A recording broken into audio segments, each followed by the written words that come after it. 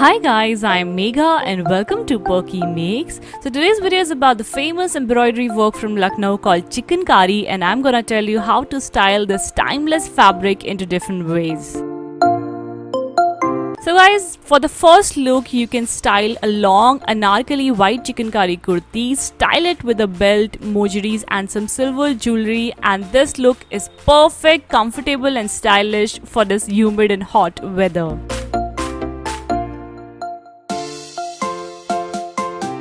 I feel chikankari looks best in the white color. It looks really elegant. But if you're not a fan of white color, then this next look is perfect for you. Style this type of colored kurtis with pants or jeans. This look is perfect and comfortable uh, for work, for college. So I just love this hot pink kurti which has this contrasting white chikankari work. It's really really elegant and beautiful.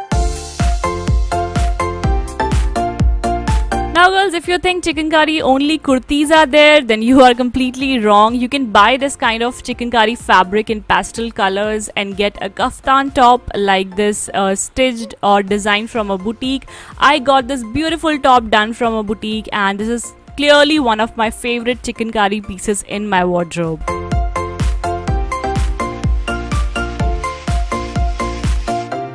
Now next come the sari guys. Saris are evergreen and classy and especially if you own this kind of a cotton chikankari sari then this is perfect for this weather and it looks really elegant especially at work and light functions.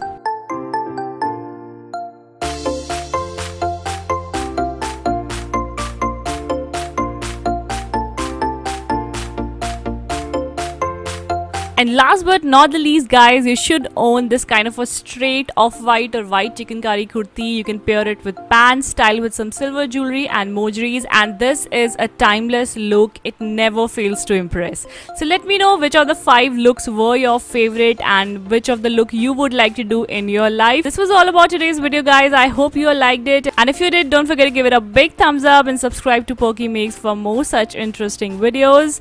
Don't forget to follow me on Instagram for all the photos of these looks. My Instagram handle is Perkymegs. Thanks for watching. Bye bye.